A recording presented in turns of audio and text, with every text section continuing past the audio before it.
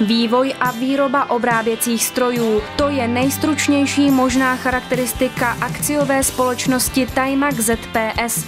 Společnosti s více než stoletou tradicí strojírenské výroby patří v České republice ve výrobě obráběcích center a více vřetenových automatů čelní postavení. V praxi se tu vždy úspěšně snažili o pokrokové výrobní postupy a dnes ještě více akcentují propojení vědeckých poznatků s výzkumem a následnou výrobní praxí. V posledních letech se naše firma zaměřuje na spolupráci s různými institucemi. Za zmínku stojí dlouholetá spolupráce s výzkumným ústavem textilních strojů v Liberci, Vysokým učením technickým v Brně a v poslední době zejména spolupráce s místní univerzitou Tomáše Bati ve Zlíně. Současný výrobní program společnosti Timac ZPS je orientován na export.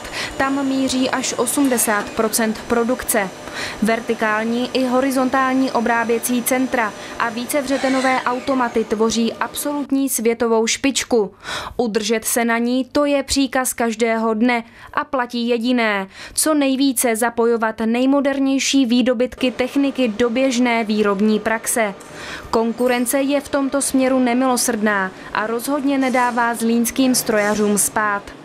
Timac ZP Zlín se snaží dlouhodobě uplatňovat ve své praxi výsledky nejmodernějších výzkumů vědy a vývoje.